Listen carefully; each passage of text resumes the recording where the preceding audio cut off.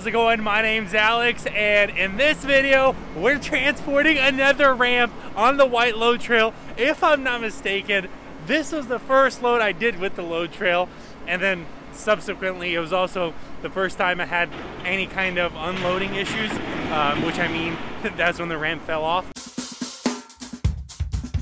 Uh, well, it didn't fall off my trailer, but it fell off while they were unloading it. So, but anyways, here it is again. Uh, like I just got it loaded, so that's pretty cool. And uh, yeah, and I actually just booked a partial too. And the partial is only two standard pallets, so that's gonna go right here. And that's where we're headed right now. Let's go to Houston.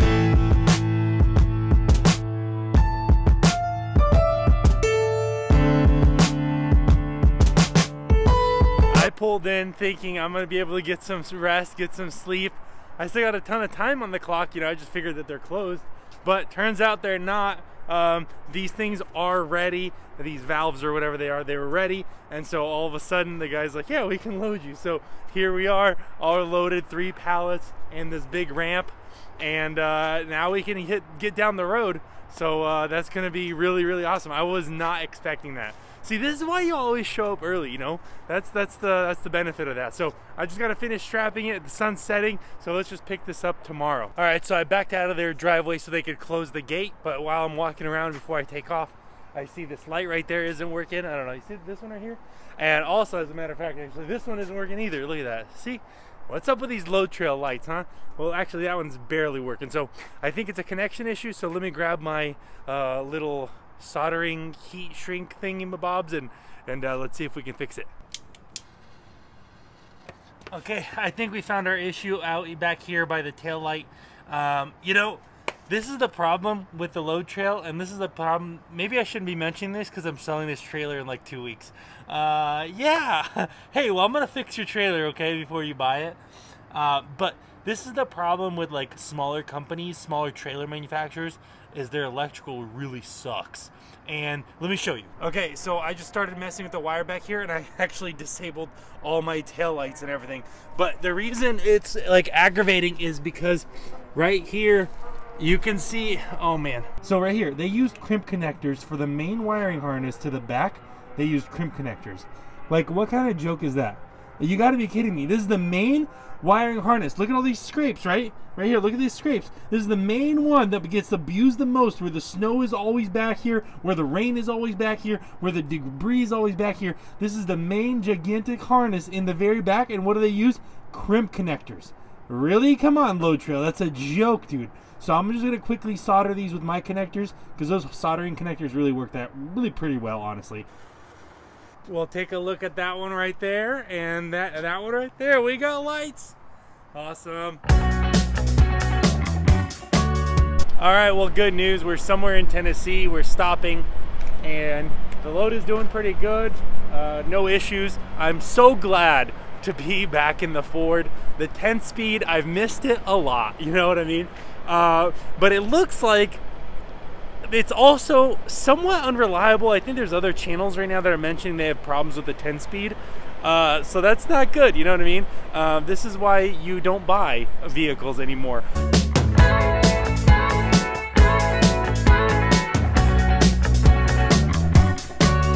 All right, and just like that, we delivered this load, this partial. Tomorrow we're gonna deliver the ramp. I already called ahead about it. But yeah, this is it's a it's an awesome run, awesome low, awesome two partials that I was putting together. Um, it worked out super, super duper. That's exciting. Uh, he's just making a copy real fast, by the way. So, uh, but yeah, let's get back in the truck because dang, it's cold in Pennsylvania. Oh my goodness.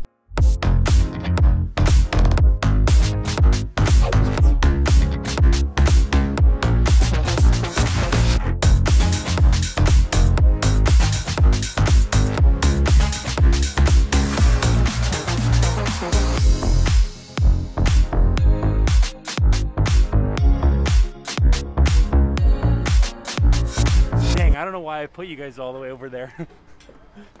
okay, I think this guy Randy came in on a Saturday for me, so uh, I got $200. Let's just go give him $200 for unloading me on a Saturday, okay? A 100 bucks for him, 100 bucks for his helper. Let's go. Were you working today, or did you just come in to unload me? No, I just came here to unload. Just came to unload me? All right, buddy, okay. What? You don't No, need no, to do I- it. Come on. No, it's $200, dude. Buy yourself some lunch, buy him some lunch, and then You're thank nuts, you, dude. I appreciate it. All right, so I made it to the truck stop, but I'm sure, as you guys know, the there's li- literally no loads for the weekends, and it's not because the brokerages are closed; it's that the shippers are closed. Now, there is a small, tiny percentage, like maybe you could count on a hand, that sometimes you can get loaded on the weekends, but that's just so rare you can't bank on it. So that's the problem with that. So I'm gonna hop on Central Dispatch. I'm gonna try to book some cars and see what we can come up with, see what kind of options we have out there. Because cars, brokerages for cars are open, and obviously because most of the time it's customers, residential's, uh, residential moves, um, then you can book cars over the weekend too. So so let's do that. All right, look at that. I booked two cars. This is awesome. Let's go pick them up tomorrow though because I've already been sitting and so I might as well finish my 10 hours. Uh, so, but yeah, let's go pick him up tomorrow morning.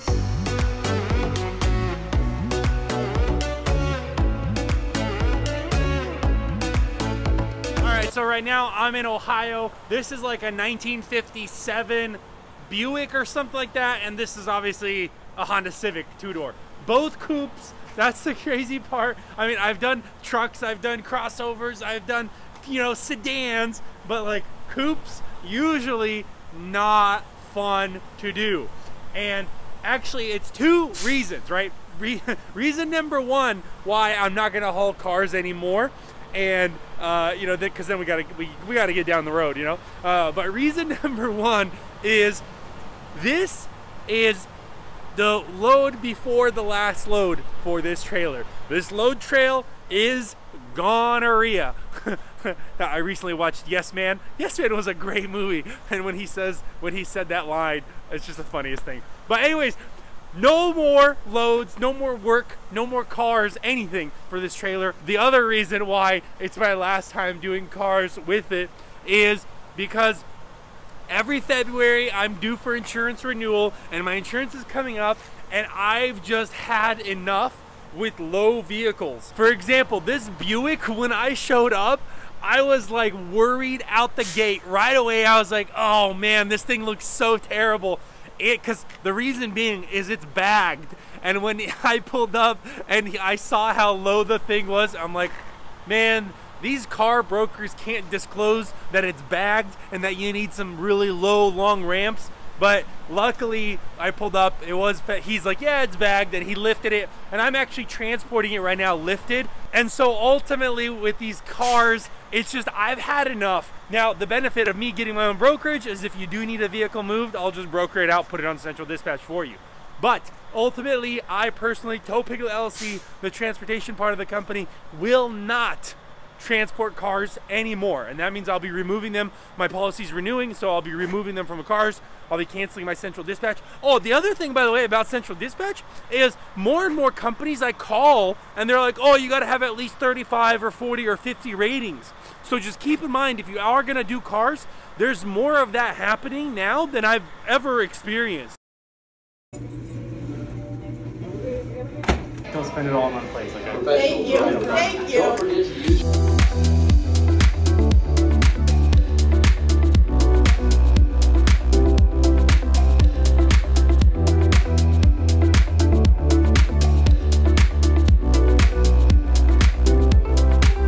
All right, let's get into this load breakdown. So here it is. This is the first load. Oh my goodness, I don't know how to zoom. But here's the first load, $2,000. You can see it's 6,000 pound dock ramp. Okay, and here it is, Fort Worth, Texas to East Rutherford, New Jersey. That's where it was going. Uh, so that's where it picked up and that's where it was going. So $2,000. Now, if you're wondering how many miles is that, so this thing is 1587 on the miles. And so when you calculate that, that's $1.26 on the mile. Can you imagine, right? You're on the load board looking at a load that's paying a dollar and a quarter essentially for 6,000 pounds and 30 feet and that's the load I booked first. That's why I had to go to Fort Worth to pick it up first. And so it's like, uh, you know, it's not a good starter load by no means. But if I never had it, then I wouldn't have been ready for these pallets that came out next. And so that those pallets are here, Houston, Texas to Clearfield, Pennsylvania, the three valves, 2,500 pounds. So six plus 25, that means I was right around 8,500 pounds. So under the 10,000, no problem. And where's the rate on here? This is, oh, right here, $2,000 as well. So, uh, so 2,000 a piece. And it's crazy to think about that three pallets was paying $2,000 and a 30 foot ramp was paying two thousand dollars. So yeah, uh, it's kind of ridiculous. But still, the pallets, like if you route it out, the miles, look, fourteen fifty seven on the miles, Houston to Clearfield, Pennsylvania, and so that rate per mile is a dollar thirty seven. So it's not like those pallets are paying super duper hot or awesome either. Uh, but still, but regardless, both of them combined worked out really well. Um, so it's 1969 on the miles, uh, with not including my personal deadhead. So 1969 on the miles, uh, you know, drop in PA, then drop in New Jersey, and obviously that was a total of 2,000 plus 2,000. That's $4,000, and divide that by 1968. You can tell right away 203 per mile. So basically right around two bucks a mile. So super solid rate. Texas outbound has had some good freight recently for some reason. Uh, I, I know sometimes Texas outbound really kind of sucks actually. So I was surprised that I was able to book two really good partials that were you know over two bucks a mile. So uh, I thought it worked out really well. Now let's move on to the back haul, which wasn't so good. Uh, okay, so two cars. Obviously, I have no idea why I kept calling the car a Buick. Right here it says 1954 Chevy. Uh, and it's definitely not a sedan, it's a two door. So, um, you know, that's the central dispatch brokers for you, right? That's why I'm not doing cars anymore. But regardless, whatever, Warren, Ohio to Leander, Texas, and this car is paying 1025 so that bagged buick i mean the bagged chevy was paying $1025 now for the miles it's 1396 on the miles from warren ohio to leander so kind of a lot and you know because we're only getting paid 1025 that's 73 cents per mile for a car. Now, on an open car, 73 cents is actually not that bad. You know, sometimes open cars pay as little as 30 cents a mile. So in reality, 73 cents for a car isn't terrible uh, for one unit, but it's just not enough if you can only take two cars. And so, uh, but still, you know, some money is better than no money, I guess, for the weekend. So the second Honda or the second car that I booked, the Honda, right? It was 1150, so a little bit more money. And this was the Bradford, PA to Killeen, Texas. Um, it was an army person at Fort Hood, and we just met at like a Home Depot or Walmart over there somewhere. Um, so uh, yeah, the Civic. Uh, they they were actually complaining that they have been trying to ship the car for two weeks, and they were glad that they could track me and that I got it down really quick for them. So um, so that was kind of cool uh, that you know I was able to provide a good customer service for one of the one of our uh, service members. So that's cool. But anyways, 1150 on the rate for this one. And that is, what was it right here? 1519 on the miles. So a little more miles, but 75 cents a mile. I think the other one was 73. But here's the issue. So you could go 73 plus 75. Oh, that's like a dollar 48 or something. Dollar 47 maybe. Uh, right? So it's like no, no, no, no, no, no, no. That's not how you count it. It's not a dollar 47. First of all, I couldn't pick up the Honda Civic first. I had to go get the Chevy first, right?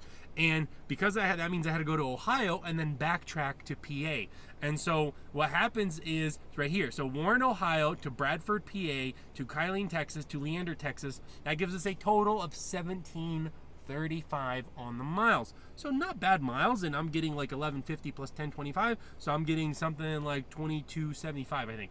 But when you divide it, that's only a dollar 25 a mile. So wait, 75 plus 73 cents a mile gives us a dollar 50, but because you know it's not exactly in or out, it's only a dollar 25. But don't forget, I deadheaded all the way from New Jersey. So when you count all my deadhead all the way from New Jersey, right, that gives us total miles for 2136. And then when you do 2175 divided by 2136, that gives us a dollar and a penny, a dollar and two cents a mile if you round up or round down, whichever. But still, so coming out, I'm excited. I'm making a ton of cash. Coming back, not so good. going kind of broke. Jokingly, I say that, of course, I'm not going broke because here's the numbers, right? So here's the total trip routed out 4,105 miles. That includes the deadhead in between them. So there and back. So Texas to New Jersey and PA and Ohio and then back. and then that's 4,105 miles. And oh wow, too fast. And I got remember 2,000 plus 2,000 plus 1150 plus 1025 gives us 6,175. And when you do the math, it's a dollar fifty per mile, right? Sixty, what was it? Sixty-one seventy-five divided by forty-one hundred and some change. So it's a dollar fifty per mile. Now keep in mind, my operating costs is a dollar forty, including driver pay, right? So it cost me to move my truck a dollar forty cents for every single mile. Now you might be wondering, hold on, Alex, that means you only made ten cents a mile. No, I am including driver pay in that 40 cents. So if you figure that I pay drivers right now starting 50 cents a mile and all miles, that means on this 4,100 miles, my driver would have gotten paid $2,050. And it literally took me exactly one week to complete this. So, not a bad paycheck if you were a company driver W 2 uh, running at 50 cents a mile. So, really not bad. Two grand. Now, it's rare because, you know, I was really running the clock down to the last minute and I was really hustling to, to get it done. So, these are rare weeks, but it just goes to show that they can happen. So, technically, uh, that means the business made 10 cents a mile. So 10 cents at 4,000 miles is 400 bucks, and driver pay was 2,000. So if you're an owner operator, technically you made 2,400. Technically, now I've been uh, like crunching these numbers and looking at these things and thinking and thinking and thinking what would have been what would have been the better thing to do would it have been better to wait till monday book a load that paid a little bit better or would it have been better to just take the cars like i did and in hindsight because hindsight is now 2020 it does look like that it would have been better to sit and wait till Monday. Let me explain, right? You might be freaking out. Hold on, Alex, how is this $6,000 in literally seven days? Uh, how is that would have been better to wait? Here's the thing, right? Because the rate was so cheap coming back, it actually took a bunch of profit out of the good rate coming back. Now, yes, it equaled out to a buck fifty, but if you figure, let's say we just got the bare minimum. Let's say we got a dollar forty. A load for a dollar forty from PA to Texas definitely exists, or from New Jersey to Texas, right? That definitely exists. And so even at a dollar forty, my profit would have been not four hundred dollars. I think I crunched the numbers. I don't have it all calculated like I do with the loads and stuff. But when I crunched it, uh, so my profit, right, 10 cents a mile because my operating cost is $1.40. My average rate per mile was $1.50. That's 10 cents a mile profit. That means times 4,000 miles, that gives us $400, correct? And so if I just raised the return trip instead of at a dollar a mile to a dollar forty, it would have made my average trip a dollar eighty. And so then my profit would have been or no, correction, it would have made my round trip a dollar seventy. There you go. And that that means that my profit is then thirty cents a mile. So thirty cents times four thousand is four times three is twelve, so twelve hundred dollars. So think about this: if I would have booked a load, had I waited till Monday instead of Sunday to take these two cars, I would have profited the company 30% more money or three times so that's 300% right because so instead of $400 i would have profited $1,200. Now, honestly, this is one week, one trip, so it's not, you know I mean? It's not the end of the world, but it just goes to show you how, like, I have to right now switch my perspective or my mentality from being a driver and just cranking out the miles to being a company owner and really focusing on making sure the profits are there. Um, you know, and it's a process. It takes like you know, even though I've been in it for five years, for five years straight, all I've done is just I need to run hard. I need to put down the miles. So uh, you know, I'm I'm having a bunch of like mental like, whoa, hold on, wait, really? Three times the profit? It's like yeah so uh, you know this sharing this with you guys has helped me learn as well. So uh, I'm I hope this helps you too. There is one more thing I do want to just quickly go over and that's ELD guys while I was sitting in Pennsylvania one of you guys came, come up, came up to me and said hey Alex you know uh, I've been in hotshot now for a year and I got into it because I was watching your videos and I appreciate all your videos because they've helped me a lot and I've made a lot of money. But but here's a big thing I have I only once I've grossed more than four thousand dollars in a week. Only once. And I was sitting there listening to him and I was like, wait, hold on. One time in a whole year you've grossed over four thousand? He's like, Yes. I'm like, that doesn't sound right. You're doing something wrong. Talk to me about your loads. And I when we go through, we sit down in the restaurant, we go through his last ten loads, all similar paying loads to me. And then I go to his clock, his ELD. I'm like, show me your ELD. How are you running your clock? And it turns out that his religion was to make sure he takes a restart on Sunday. So that means instead of taking a nice load over the weekend, he would take a short load and then so that he can do a restart so that Monday he could go deliver that load. And consistently, we looked at last 10 weeks in a row, consistently his hours worked, his on duty time was 35 to 45 hours. Okay? Now, keep in mind, I just had a $6,100 week. When I was talking to him, I already booked those cars, right? And so I knew I was going to do over $6,000 that week and in a legit 70 hour work week. I didn't like there was no I didn't mark any time anything PC or anything like that. No, legit 70 hour work week, just straight hustle there and back. And I'm in my mind him telling me that he grossed he averages consistently $3,000 a week, I knew there was something wrong. And sure enough, it was the ELD. Now, uh, you know, so it's like two extremes. On one extreme, don't go chasing a restart like like him. So take that as a lesson. On the other extreme, don't haul a super cheap load, especially when you came out for really good money. You know what I mean? Uh, you know, so I'm over here right now in this video, and the guy I sat down and talked to for like over an hour, he was on on this side. I don't know. I feel like I've been talking for way too long, but I appreciate you guys watching, and let me know in the comments below what you guys think, and I will see you in the next video. Bye.